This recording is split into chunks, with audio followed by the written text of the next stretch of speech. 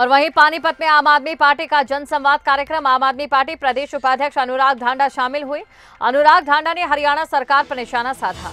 2024 में हरियाणा में आम आदमी पार्टी की सरकार होगी। कांग्रेस, बीजेपी, जेजेपी और इनेलो को बताया। हरियाणा में फेल। तो अनुराग धांडा ने हरियाणा सरकार पर निशाना साधा है। 2024 में हरियाणा में आम आदमी पार्टी की सरकार होगी, ये भी कहा। ये पहली बार आम आदमी पार्टी आई है जो इन मुद्दों के ऊपर राजनीति भी करती है और इन मुद्दों को सफलतापूर्वक सरकार आने पर पूरा भी करती है। इसलिए सभी लोगों का ये बीजेपी, कांग्रेस, जेजेपी नैलो इनसे मोह भंग होना शुरू हो गया है। लोगों को पता चल गया है कि इस राज चलाना, सरकार चलाना कोई बड़े तुर्रम खां लोगों का काम नहीं है। आम जनता भी अपना राज चला सकती है, अपनी सरकार बना सकती है। इसलिए आम जनता अब अपनी सरकार बनाने की तैयारी कर रही है। मैं जगह जगह जनता के बीच में जाता हूँ तो पूछता हूँ, अगर घर की सफ़ाई करनी हो, हाथ से सफ़ाई हो जाएगी क्या?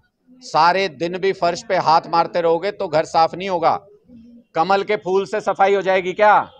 कमल का फूल लेकर लगे रहना, सारे दिन घर साफ़ नहीं होगा। घर साफ़ करना है तो किस चीज़ की ज़रूरत पड़ती है? झाड़ू की ज़रूरत पड़ती है। ये सारी जनता को समझ आ गया, अगर हरियाणा को साफ़ करना है तो झाड़ू की ज़रूरत पड़ेगी, भ्रष्टाचार खत्म करना है तो झाड़ू की ज़रूरत पड़ेगी। लोग पूरी ताकत के साथ आम आदमी पार्टी